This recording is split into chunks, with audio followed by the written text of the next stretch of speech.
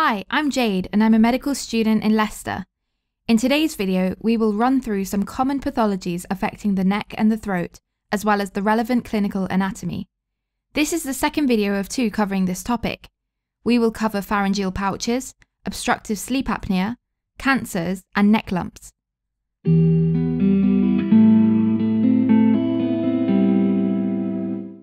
Let's start with pharyngeal pouches. Killian's dehiscence is a triangular shaped area of weakness in the muscular wall of the pharynx. It is located between the transverse bundle of the inferior pharyngeal constrictor, also known as thyropharyngeus, and the oblique bundle of the inferior pharyngeal constrictor, also known as cricopharyngeus. When there is poor coordination of the peristalsis of the inferior pharyngeal constrictor muscles, the intraluminal pressure increases, and an outpouching can develop in this muscle deficient area, which is known as a pharyngeal pouch, or Zenker's diverticulum. This is quite a rare phenomenon and occurs more in males than females, typically in older people. Patients may complain of dysphagia, regurgitation of food, chronic cough, hoarseness of voice, halitosis due to food decaying within the pouch, and recurrent chest infections. On examination, you'll notice that a patient has a lump in the neck which gurgles on palpation. You may also note the halitosis. A pharyngeal pouch can be diagnosed by barium swallow. According to NICE guidelines, the traditional treatment for a pharyngeal pouch is diverticulectomy, which is removal of the pouch, or myotomy of the cricopharyngeus muscle. Usually this is done by open surgery, but more recently, endoscopic techniques are being used instead to speed up recovery times and reduce the risk of complications.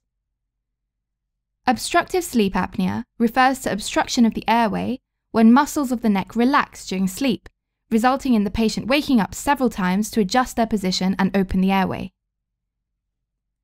Risk factors for obstructive sleep apnea syndrome include male sex, obesity, family history, craniofacial abnormalities such as Treacher-Collins syndrome, and adenotonsillar hypertrophy.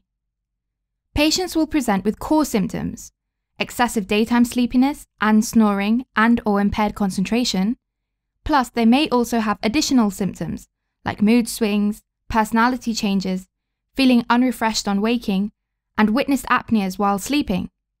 In children, additional symptoms include unusual sleep posture, for example, the head bent backwards, nocturnal enuresis, failure to thrive, and daytime mouth breathing. On examination, look for risk factors of obstructive sleep apnea. So look for nasal obstruction, examine the jaw, and look for enlarging tonsils in children. Calculate the BMI and measure the patient's neck circumference as well. Ask the patient to complete an Epworth sleepiness questionnaire. To assess the extent of the problem and quantify how the symptoms are affecting the patient's day to day life. Investigations like thyroid function tests can help to find the underlying cause of the obstructive sleep apnea. An ECG and chest x ray are also essential because heart failure and lung complications can develop as a result of OSA. In secondary care, a sleep study is performed to definitively diagnose the condition.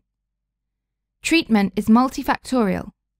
Refer to a sleep centre for confirmation of the diagnosis and for secondary care treatments, like CPAP. While waiting for an appointment in secondary care, conservative management options can be used. Encourage the patient to lose weight, exercise, reduce alcohol intake, and stop smoking. They should also be advised to sleep on their side. Give the patient written and verbal information about OSA, as well as information about support groups that provide self management advice, like the Sleep Apnea Trust. Give advice on driving and entitlement to drive. The patient should not drive until assessed by a specialist. They must inform the DVLA if they have sufficient daytime sleepiness to impair driving. The DVLA will also need to be informed if in secondary care use of CPAP or an intraoral device is initiated. CPAP can help with symptomatic management. It forces the airways to stay open and prevents collapse of the airway and apnea. People will require lifelong treatment and have to wear either a nasal or face mask for airflow delivery at night. Poor adherence to CPAP is common, as it can cause epistaxis, throat and nose dryness, and soreness. Intraoral devices, such as a mandibular advancement device, are appropriate for people with mild OSA and normal daytime alertness. In children where enlarged tonsils are found on examination and are likely the cause of the OSA, adenotonsillectomy is indicated. Refer to a pediatric ENT specialist. Now let's talk about some cancers of the neck or throat. Throat and neck cancers are usually squamous cell carcinomas. Risk factors for developing SCCs of the neck or throat include heavy tobacco smoking, drinking excessive amounts of alcohol, poor dentition, GORD, lower socioeconomic background, and ethnicity. Nasopharyngeal cancers are more common in people of Chinese ethnicity, for example. Symptoms that should make you suspicious about an underlying cancer include unilateral nasal bleeding, unilateral nasal obstruction, bleeding from the mouth, dysphonia such as hoarseness with no known cause, dysphagia, rapid onset of symptoms, facial palsy, weakness or numbness, stridor, an unexplained neck mass, and rapid unintentional weight loss. Useful investigations include a staging CT neck and chest and examination, plus biopsy under anaesthetic. Bloods like baseline FBCs, U&Es, LFTs, and TFTs must also be done. Neck and throat cancers can be managed like any other cancers, with radiotherapy, chemotherapy, surgery, or palliative care. An MDT approach is essential to decide the full management plan on a case by case basis. Finally, we will talk about neck lumps. A neck lump can point to many diagnoses. The most common cause is reactive lymphadenopathy. It is usually benign, caused by infection or viral illness, but may also point to a more sinister cause, like malignancy. Therefore, a full history and examination is really important. Reactive lymphadenopathy usually arises suddenly, and the lump or lumps are mobile. It is self resolving, usually within six weeks. Skin infections are another cause for neck lumps, such as abscesses or infected sebaceous cysts. These will typically be erythematous, fluctuant, well defined lesions that are warm to touch. They'll be painful on palpation, there may be pus seen on examination or on gentle probing. Skin cancers such as BCCs, SCCs, or malignant melanomas should be considered as well. The neck is a common site for skin cancers to occur as it's a sun exposed area. Lipomas and other benign tumours are found on the neck and are a good differential to keep in mind. Lipomas are smooth, round, and fluctuant. Sialolithiasis refers to a stone in the salivary duct. It's another important differential to consider. Patients will present with pain which gets worse during meals and a swelling, usually in the territory of the submandibular gland. Ultrasound scans and sialograms are useful investigations to request. Management is usually conservative, prescribe analgesia, and encourage the patient to drink adequately. If severe, radiological or surgical removal of stones or the gland can be considered.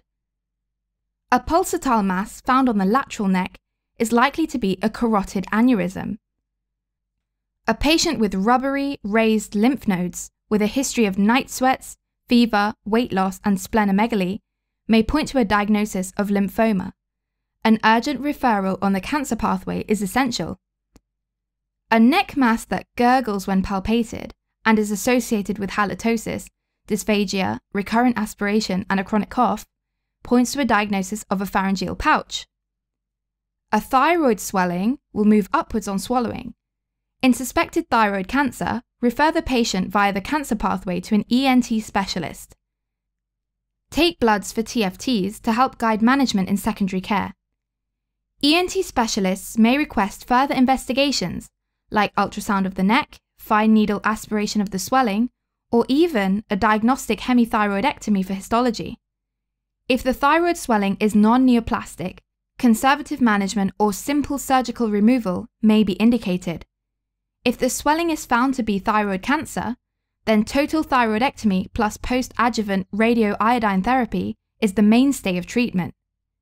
If the disease is anaplastic disease, then palliation may be necessary, Thyroidectomy is a relatively common procedure, and complications include post op hemorrhage, airway obstruction, vocal cord palsy, and hypocalcemia due to removal of the parathyroid glands. If the patient is younger, a few other diagnoses should be included in your differentials for a neck lump. A thyroglossal cyst, for example, is a neck lump that is commonly found in the midline between the thyroid and the hyoid bone. It moves upwards when the patient protrudes their tongue.